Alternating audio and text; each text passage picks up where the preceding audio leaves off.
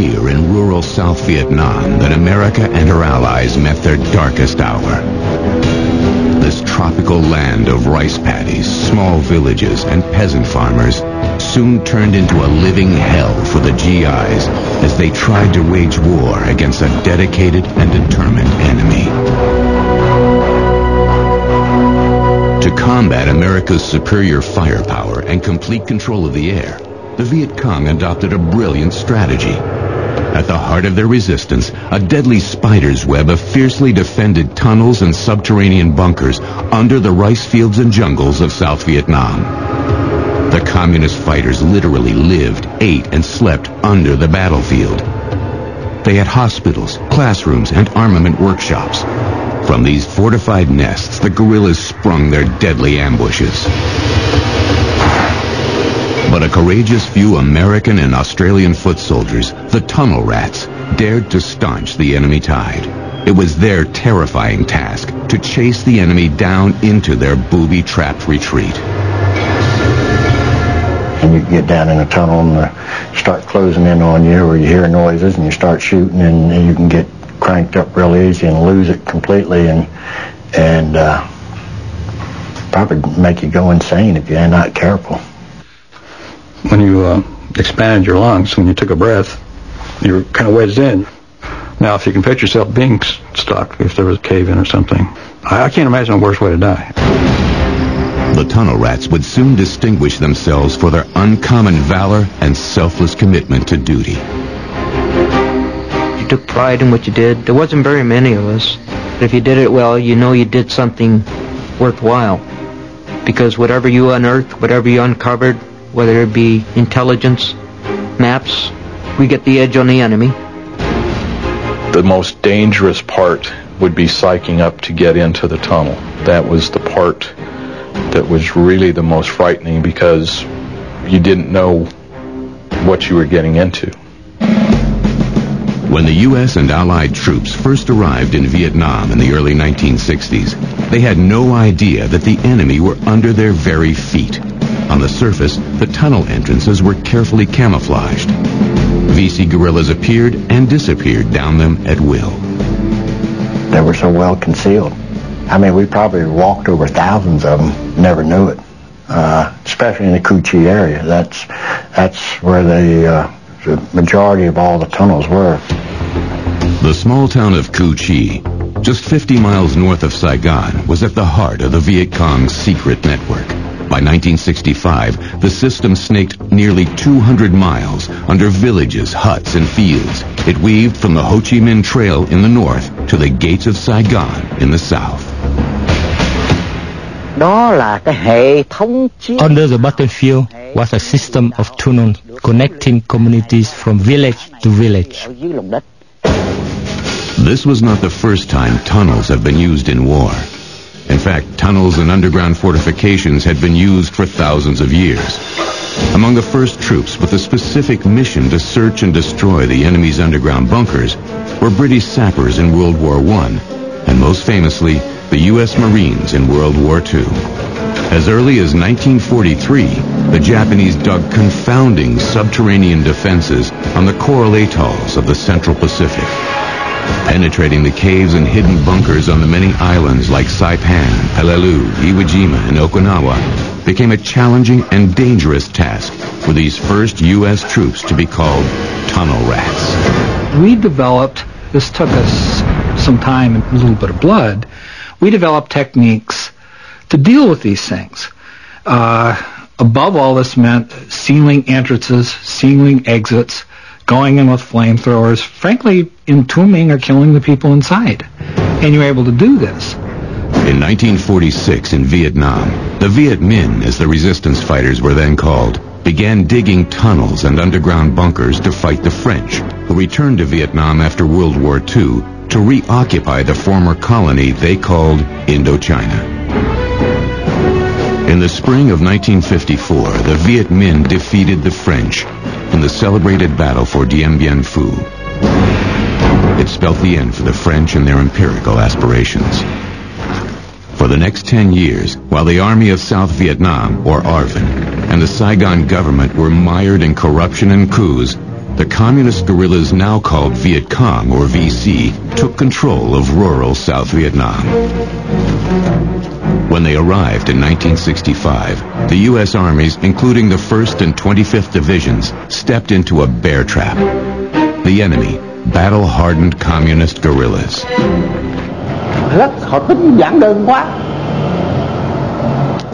The Americans thought they could win the war easily.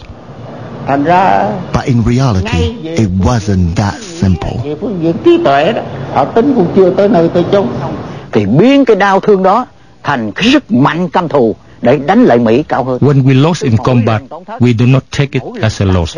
It gave us other resolve and strength, which we would take into the next battle. Là không có là ngược lại cái đó. From the hidden underground bunkers and spider holes, the Viet Cong guerrillas sprung devastating ambushes and stealthy night attacks that inflicted horrific casualties on American forces.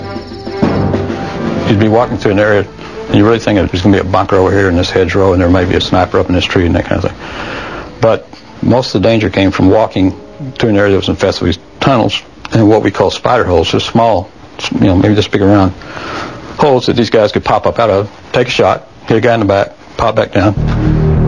The young American and Allied soldiers on patrol in the thick jungle canopy of South Vietnam were left chasing shadows in an alien environment where violence and fear characterized their daily existence. You dreaded being in a jungle where you can't see.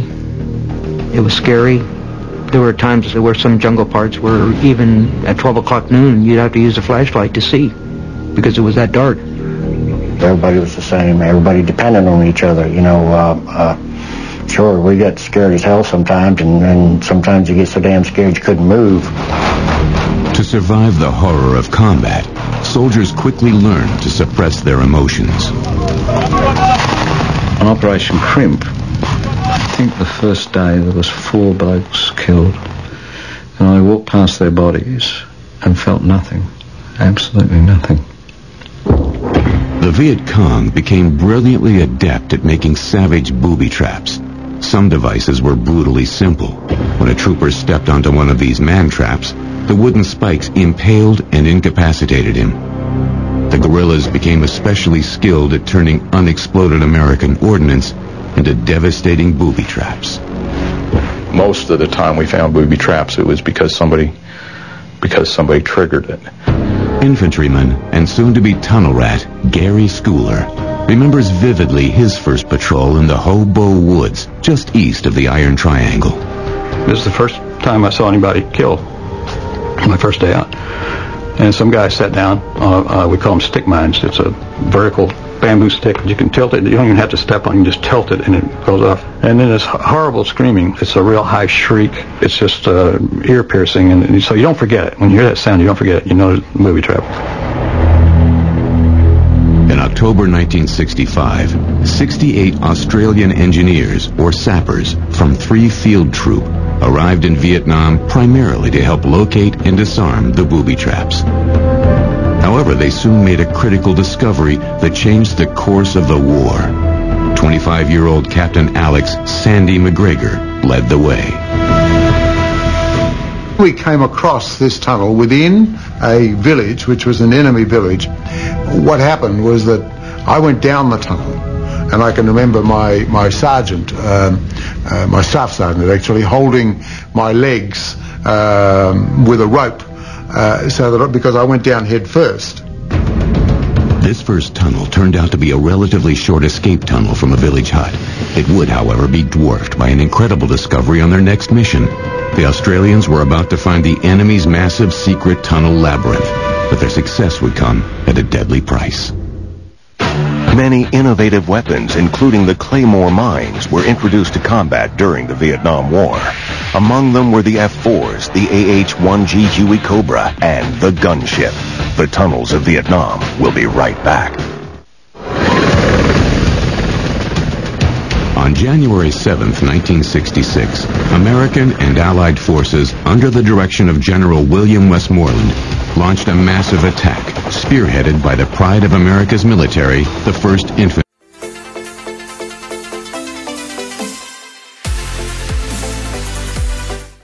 Division. The strike was aimed at the heart of the Viet Cong war machine in South Vietnam. They moved into the Ho Bo Woods just east of the Iron Triangle. Helicopters, tanks, armored personnel carriers, and more than 8,000 men joined the battle. In one huge blow, America's leaders planned to find and destroy the Viet Cong Politico headquarters and effectively end the war. The Australian engineers of 3 Field Troop were assigned to support the crack 173rd Airborne Brigade. They deployed from their base at Bien Hoa, just east of Saigon. The Australians headed for the south edge of the Ho Bo Woods. If all went according to plan, the enemy would be swept down towards them.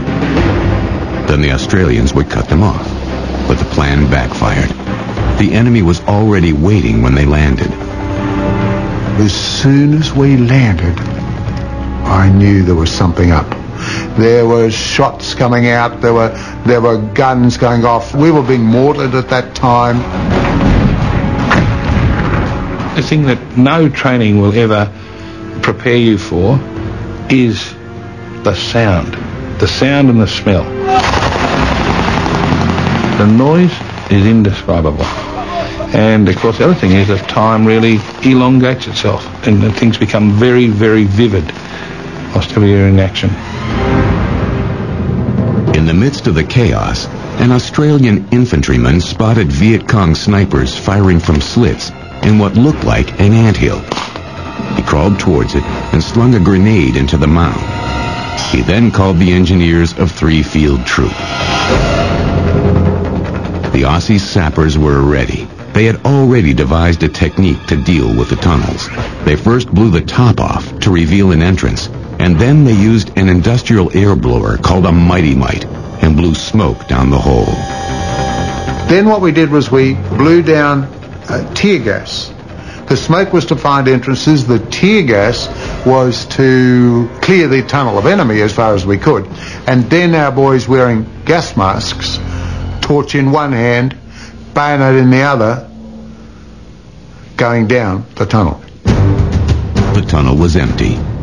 They then prepared explosives to destroy it. They skillfully placed the charges to make the maximum impact. The charges that were used were all big. Uh, military demolitions is like that. You make sure that the job's done properly the first time. So the charges were big. Less than a mile away, another tunnel had been found. Aussie sapper Ray Forrester and his partner were sent to investigate. I was scared the whole time. I won't even deny it. And inside it was it was an eerie silence. You could kind of hear yourself breathing. Yeah, it was just just very eerie. It was all slime and on the walls, whatever you touched was slimy and and it was just just felt like pigs to the slaughter, you know, because you're just rolling around the mud. While simple tunnels and underground bunkers had been found before, the ones discovered during Operation Crimp were on a massive scale never seen before. They found whole guerrilla encampments underground, bunkers connected by tiny passageways. There were chambers that stored arms and food. They had sleeping quarters and areas to treat the wounded. The tunnel rats found hidden trap doors laced with booby traps that led to even deeper levels and more chambers. They had uncovered the Viet Cong's secret underground fortifications. When General Westmoreland was informed of the find, he ordered all tunnels be searched for men, intelligence, arms, and supplies. Then they were to be destroyed. The tunnel rats, driven by duty and courage, went to work. When they found trapdoors, they took even greater care in case it was armed with a booby trap. You'd use your fingers, you'd virtually went down and, and, and kissed it. That's how close you got, you know, just to make sure that, that you didn't miss anything. You can't miss anything, so you always just checked and double checked. On day two of Operation Crimp, on January 8, 1966, Three Field Troop returned to the Ho Bo Woods and parachuted into a hornet's nest. Incredibly, they landed on a VC tunnel. What they unearthed in it almost changed the course of the war. what we landed on was the headquarters of the Cholon Gia Dinh area. We actually even pulled out the hit list, right, that the Viet Cong had of the senior officers in Saigon, in the order that they were going to be hit. The VC hit list whetted their curiosity. The tunnel rats had unearthed a gold mine. They descended deeper, down three levels, but stopped before opening a trap door. Had they gone through that trapdoor, we would have unleashed hell because that was the only entrance into the heavy headquarters for the Saigon area. One trapdoor and we could have changed the whole war. Really, it's terrifying to know that there are that many people down below us. But also, um, I don't know what would have happened, to be quite honest with you. They only realized how close they were to the enemy headquarters after the war was over. Tragically, Operation Crimp also marked the first tunnel rat casualty. Corporal Bob Bowtell got trapped in a small tunnel filled with smoke. Ray Forrester went down the tunnel to try and pull his friend out of the tunnel shaft. Uh, I must have gone in a few times. and I just couldn't move him, couldn't budge him. He was just stuck at the bottom of this, this trapdoor. I remember trying to dig out the, the tunnel entrance, but again, that was that really wasn't satisfactory. Yeah, at, uh, I don't know at that stage. I guess later on he, he, was dead, but I didn't know that at the time. I thought I could try and get him out. When I finally had to give in, um, I went back up top and um,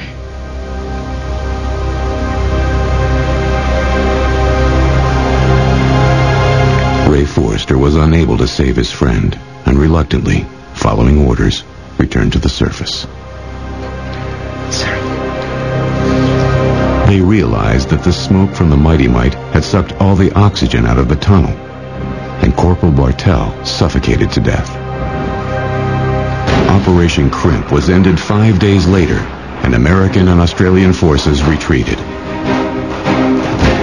With the incredible discovery of a vast enemy underground network, however, more tunnel rats would be needed to risk their lives and volunteer for this deadly mission. Westmoreland requested an additional 206,000 troops at the height of the Tet Offensive in 1968. This top-secret request was codenamed Operation Complete Victory. Modern Marvels will continue in a moment. January 1966 the 25th Tropic Lightning Infantry Division began to arrive in Vietnam. By the end of 1967, they would number 17,000 strong. Their mission was to eliminate the Viet Cong, destroy their subterranean stronghold, and protect Saigon. The 25th set up three camps, each bordering the treacherous Iron Triangle, Boi Loi, and Hobo Woods. The main base at Cu Chi gave them quick access to these danger zones. Strategic planners, however, soon realized that they had made a fatal error. The 25th began taking fire inside the Cu Chi base camp. Có ba đường địa đạo We had three tunnels under the 25th Division's base camp. They were built before they arrived. When we attacked, they were taken by surprise. Chúng tôi xây dựng trước mà. The 25th Infantry used earth movers, called Rome plows, and explosives to destroy the tunnels under the base. It took them months, but eventually they were satisfied that they had eliminated the threat from within. Military planners were now just beginning to realize the extent of the tunnel problem. Despite the best efforts of the tunnel rats, who destroyed dozens of enemy bunkers and tunnels, the Viet Cong expanded their system. By 1967, the tunnel network reached into Saigon itself. The apex of the complex was literally in the Saigon suburbs. You know, it's sort of been like if, if, if the Germans would have had a tunnel going into London in 1940. Incredibly, even the commander of all Viet Cong forces, the leader of the resistance fighters in South Vietnam, Tran Bach Dang, would direct guerrilla operations by night and slip into Saigon and operate undetected during the day. Tôi tồn tại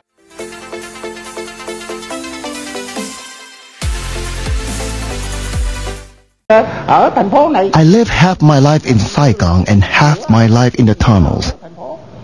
My house was next door to the American ambassadors.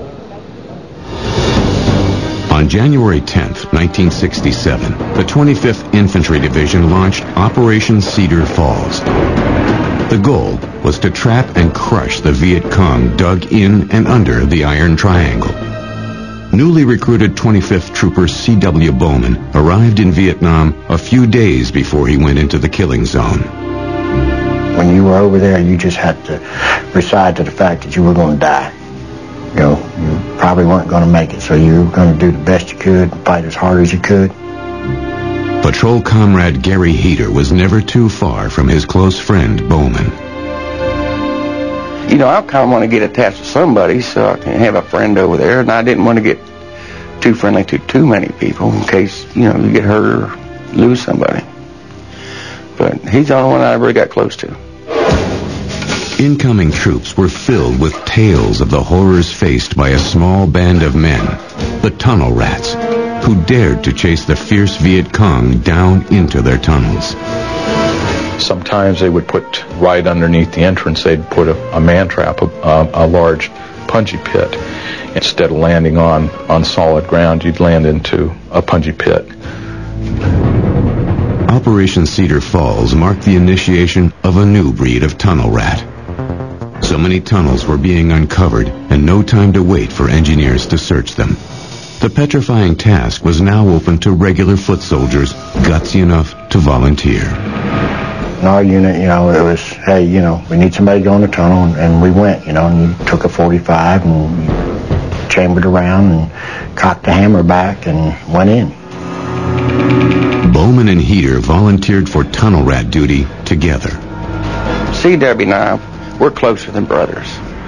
And I go in a lot of tunnels, and he'd come in behind me, or, I, or he'd go front. I felt safe when he was with me. That's that's the big thing. Gary and I were, you know, we were just a couple old GI Joes, you know, and and uh, looked at us, as, uh, I guess, a challenger or whatever, and uh, stepped up to uh, do it. During Operation Cedar Falls, Bowman and Heater were initiated in the terrifying hazards of tunnel rat duty.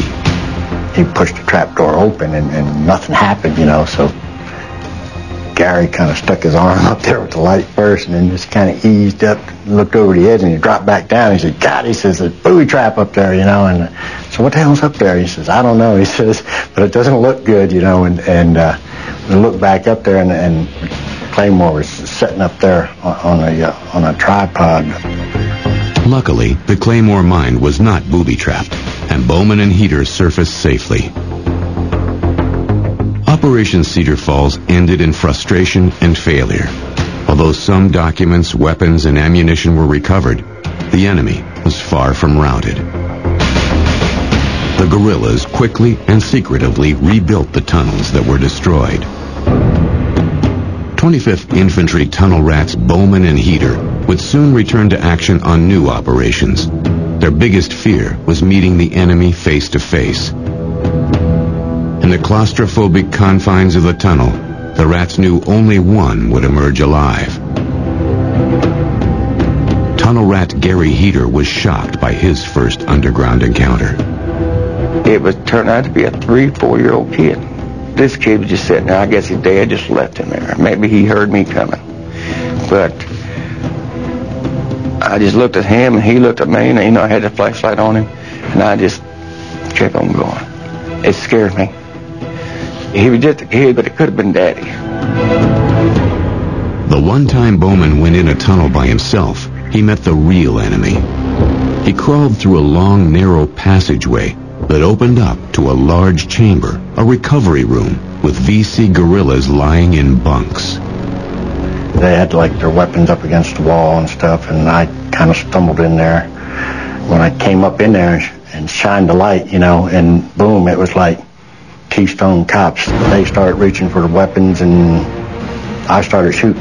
Flash, this happens. Flash, that happens. Uh, people hollering, screaming, people shooting. Your heart's pounding. I mean, it's it's all reaction. You really don't think. You just start shooting. If you hesitate and think about it, you're the one that's probably going to die. I shot, you know, and uh, get the hell out of there as fast as I could. Bowman remarkably survived this terrifying face-to-face unscathed. Yet his tunnel rat buddy Gary Heater wouldn't be so lucky. On his last mission before flying home, he stepped on a landmine known as a Bouncing Betty. I knew it was a Bouncing Betty because I heard the spring as soon as I stepped. We was running through this minefield, and it went off, and it did knock me unconscious. I was I was awake until I got to the hospital, but I couldn't see my leg. Gary Heater fortunately survived, but spent two years in a veterans hospital before he could walk again. As 1967 closed, American military planners raised the stakes. B-52 Arc-Light strikes increased in ferocity and breadth. U.S. planes dropped massive payloads of iron bombs and chemical defoliants that would eventually reduce the Iron Triangle and the Hobo Woods to a desolate moonscape. Into this maelstrom, a new crop of America's youth arrived to do battle. The bravest volunteered to be tunnel rats. In the dark depths, they fought for their nation, their honor, and their lives. During Operation Cedar Falls, an estimated 550 Viet Cong guerrillas were either killed or captured. The tunnels of Vietnam will continue in a moment. Frustrated with their inability to quell the dogged Viet Cong resistance, American military leaders raised the stakes and the heat. Toward the end of 1967, massive B-52 or arc-light strikes increased in South Vietnam. They pounded the Iron Triangle and the surrounding danger zones. On the ground, Rome plows were liberally used to unearth and destroy tunnels. Chemical defoliants and napalm drops eliminated the jungle canopy used as cover by the enemy. Well, by the time all that was done, you defoliated thing, all these holes start popping up all over the place. And so there was just a lot more holes than there were tunnel rats, I think. So they would uh, just say, well, anybody want to go down? And there was always a few of us that would. The tunnel rats found their own reasons to justify their dangerous mission. I enjoyed that mystique. Uh, I enjoyed that that whisper when when the new guys would come in and and they'd say, "That's Corey. You know, he's crazy." I hate to admit it, but I loved the rush. 25th Infantryman and tunnel rat Art Tejeda turned a perilous task into a high-stakes treasure hunt. Anything in that tunnel belongs to you, aside that it going to S2 intelligence, like maps and paperwork and stuff like that. But you find uniforms, you find uh, weapons, you know, pistols, uh, bolt-action rifles, and stuff like that, which you can use for barter, which became pretty good, and it became to be a good uh, business. the Viet Cong were ready as ever to repel interloping tunnel rats. They would tie uh, pit vipers, and they would hang them upside down with their tails. So if you weren't aware of them, and you didn't cl- look close enough, you stick your head in one of them tunnels and bang. I saw one uh, one unfortunate young man who's who was new. He didn't exactly know what he was doing. He crawled up. At least he knew enough to get down, but he crawled up to a tunnel and looked over the edge, and he was shot right in the face. The guy was just sitting right there. Tragic experience taught the rats to drop hand grenades into a tunnel entrance before they went in. The new rats adopted the now time-honored tools and techniques of the tunnel rat trailblazers. Other soldiers would hold me by my ankles and they put me head first. I'd go in there with a 45, my right hand, flashlight on my left. Once in the tunnel, the new rats were prey to the same heart-pounding trials and tribulations of their predecessors. 25th Infantryman Ken Corey volunteered to enter and search enemy tunnels. You were always listening to to hear if there were, you could, you could hear a pin being being pulled out of a grenade or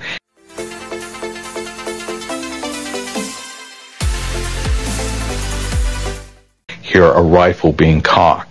Infantryman Gary Schooler arrived in Vietnam in October 1967. Within days, he volunteered to be a tunnel rat. Memories of his rare duty would last a lifetime. There's one thing that will give me dreams, and I've had dreams about, and that is the thought of being buried alive, of, of uh, being trapped underground, not being able to get out, and your air slowly running out. And I, I never quite overcame that. Um, I have awoken in the middle of the night with, in a cold sweat thinking about that. During an underground search, Gary Schooler and his partner got lost in a deep and dark tunnel system. Forget the weapons. We don't care about the glory anymore. We just want to get out of there. And uh, you start thinking about what I, you know, could we be lost in here for a long time? And, uh, or maybe never get out. Uh, finally, I mean, it seemed like we'd been down there three hours. Finally, saw a little shaft of light. We went to it, and it was a, it was a well. Popped out of the ground, and uh, it was in the middle of a clearing. It was just jungle 360 degrees all around us. Gary Schooler and his partner made it out spooked, but safe.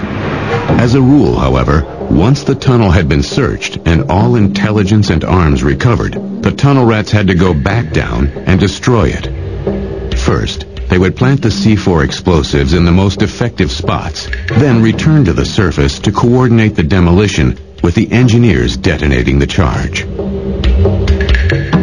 And so, are we ready? And said, yeah, okay. So I'd crawl back down the tunnel toward the end of the tunnel, and I'd pull the fuses, and this would start the cord. And as I'm crawling back, I'd be pulling fuses on every satchel. Once I got to the opening, they'd haul me out, and we'd run like heck. And the ground would go up, the ground would go down. End of tunnel. Tragically, Art Tejeda lost his partner, John Riley, and nearly died himself in a terrifying tunnel search. Flashlight pointed down the tunnel, and uh, there were three v- VC there looking straight at us. And uh, they opened up. And the next thing I uh, saw was this green, yellow, red color flash, loud bang. Got my 45 and pointed down the tunnel and emptied out the clip. I didn't hear any more, any more sounds or anything. I tried to get John, and he wasn't moving. And uh, I put my hand on his chest. His heart wasn't pounding or pumping anyway. He was dead. Art Tejeda was hit in the side. He was losing lots of blood and strength. And I could see my mother's face so lifelike. And she told me, says, Art, you're hurt. Get out of that tunnel. I said, no, I'm tired. And she said, damn you, Art, get up and see the sun for one last time. So I started crawling out. I was just so sleepy, so tired. I felt comfortable. Uh, I wasn't hurting. Consequently, I uh, saw a light and uh, got myself out of that tunnel. And uh, that was one of my uh, scariest days in Vietnam. Tunnel rats John Riley and Art Tejeda had been victims of an ominous buildup in Viet Cong tunnel activity. As 1968 arrived, tunnel rats found more and more stockpiles of arms and munitions. It was very common to find a cache with maybe 30, 40 weapons. Why were all these supplies? For what? There's nothing out there, you know. It's the Iron Triangle. It's, it's, a, it's a raised, uh, it's a desert. It's a moonscape. What, what is all this stuff doing there? By the end of January 1968, the real reason for the huge arms caches and underground enemy encounters would be unveiled. The Viet Cong were about to deliver a stunning hammer blow on American and ARVN forces in every city in South Vietnam at once. It would forever be remembered as the Tet Offensive. Some tunnels were so deep they were immune to the B-52 strikes. Close to half of the communist troops in the tunnel survived the attacks, while few survived on the outside. Modern Marvels will continue in a moment. On January 31st, 1968, the Viet Cong and the North Vietnamese Army launched the Tet Offensive.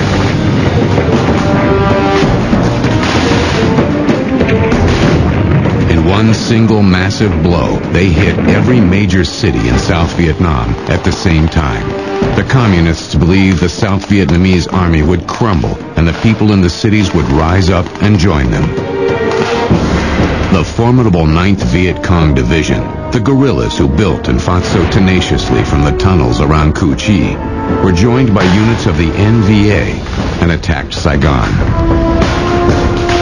The true reason for the huge caches of arms and supplies uncovered by the tunnel rats had been revealed.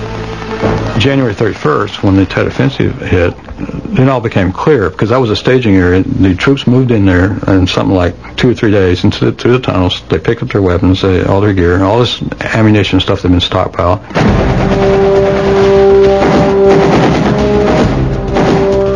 The undefeated 9th Viet Cong Division and units of the North Vietnamese Army sprang from the tunnels and attacked Saigon. They were led by Vietnamese war hero Tran Bach Dang. The tunnels served as the staging area. We launched the Tet offensive from there. America's 1st and 25th Divisions and the South Vietnamese Army, after years of frustrating guerrilla warfare, swiftly engaged the enemy. The morale in most American combat units actually went up. Here you've got an objective. The enemy is there. They're out there. They're fighting. 26 days later, the attack on Saigon in South Vietnam was repelled. Thousands of Viet Cong and NVA were killed, and the 9th Viet Cong Division was completely decimated. Tens of thousands are thought to have died the Tet Offensive had failed for the Viet Cong in its military objectives. In the wake of Tet, American military leaders redoubled their attacks. B-52 bomb strikes aimed directly on the Iron Triangle and the underground fortifications increased in ferocity. The first thing you would see is these flashes, but no sound. And then you'd feel the, uh, the rumble of the ground. Uh, the ground starts rumbling like an earthquake. Then, the next thing, the last thing is the sound finally gets to you. In my opinion, the sound of the bombs falling was more frightening than the sound of the explosion. The bombs exploding two kilometers away was the most dangerous. The air pressure and where it caused was so strong would bury people try to escape from the tunnel. nó cái cái tình cảnh nằm trong cái cái giải bê bom đó thải xuống gan đất á I fought many American soldiers, not only in Cu Chi, but in many places, face to face. I'm not sure how I survived. Perhaps it was the will of God. Đấy là nhờ Chúa. The few Viet Cong fighters that survived the Tet Offensive and the B-52 strikes soon abandoned the tunnels.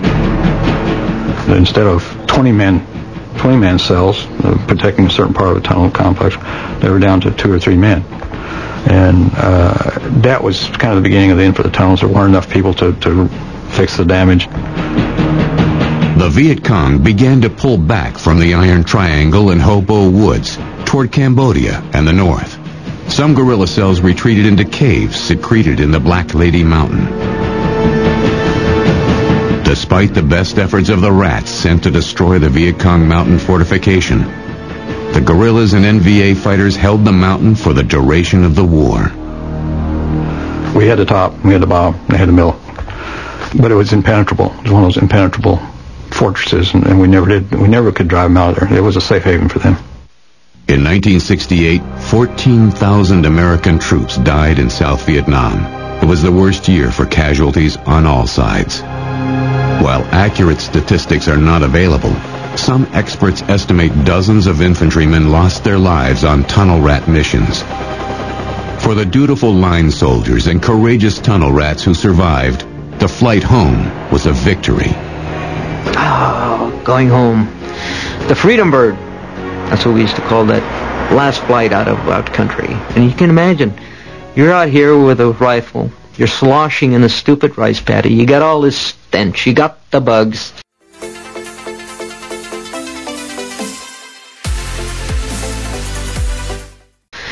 And here you're looking at a plane and you say, gee, I hope it's my turn next. Today, statues of revolutionary leader Ho Chi Minh stand in the streets of Saigon. The bustling former capital of South Vietnam is now District 1 of the newly named Ho Chi Minh City. Only 40 miles north lay the tunnels of Cu Chi. They are now open to the public as a war memorial, administered by veteran Viet Cong guerrillas. As American soldiers searched above, the Viet Cong hit below. We had tunnels right here. The tunnels of Cu Chi, the underground fortification that was at the heart of the Viet Cong victory, is celebrated as a national monument, as significant as Boston is to the American Revolution. Tác dụng thực tế của nó trên chiến trường Cu Chi served not only as a battlefront, but a symbol of self-determination. It gave the Vietnamese people courage to fight the American soldiers. Colonel Chow Lam was an artillery officer with the 9th Viet Cong Division and fought from these underground bunkers. Đây là con đường, cái cửa hầm để xuống tham quan cái This is a fighting post. In the over 250 kilometers of tunnel, there were thousands of these fighting posts. suốt chiều dài trên 250 cây số địa đạo. Adventurous visitors are free to explore the Viet Cong's once secret underground bunkers and tunnels. Đây là chúng tôi gài một cái sợi dây. This is a trap door. Even if they found it, it was armed with a booby trap. If American soldiers tried to open it, it would explode. It could only be opened from the inside. Anyone who tries to open it from the outside would be killed in the explosion.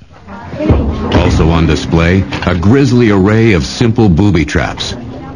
Cleverly crafted and cunningly placed, these contraptions were designed to maim. The horrifically wounded troopers would require help, medics, and helicopters. A whole company could be tied up and be vulnerable to attack.